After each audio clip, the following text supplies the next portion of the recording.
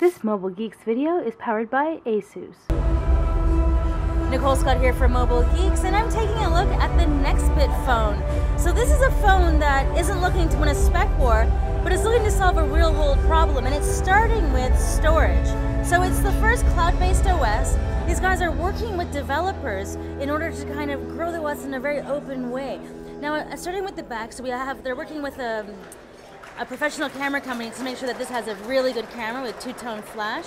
Then we have 13 megapixel, and then right here we have four status LEDs that let you know when it's uploading to the cloud. So now what's interesting about their concept is that the phone intelligently manages your storage and then offloads the application um, backends to the cloud for things that you're not using. So it kind of eliminates the problem of you running out of space. So if we take a look around the system, we have uh, two buttons here, kind of in a volume rocker kind of way.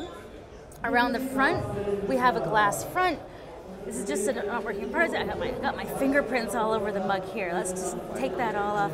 5.8 inches. It's going to be running a Snapdragon 808 processor, three gigabytes of RAM. It's going to have 32 gigabytes of onboard storage, uh, but 100 gigabytes online. And hopefully, this is going to go to unlimited.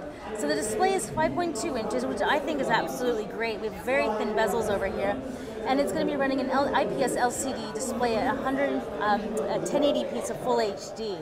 Now the battery capacity is going to be 2,680 milliamperes, and it's got two speakers here. So it's got the dual front-facing speakers, which is quite interesting. So it's kind of the same concept of HTC's BoomSound speakers, but the phone is relatively thin at only seven millimeters.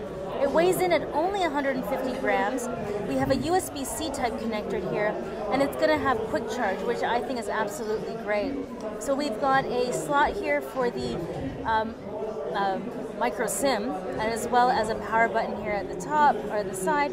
And then around the top here, we have obviously a headphone jack.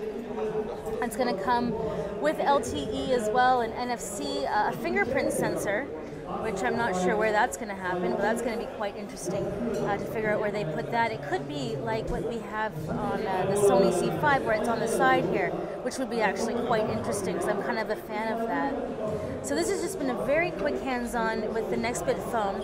Uh, to find out more, just uh, head on to Kickstarter.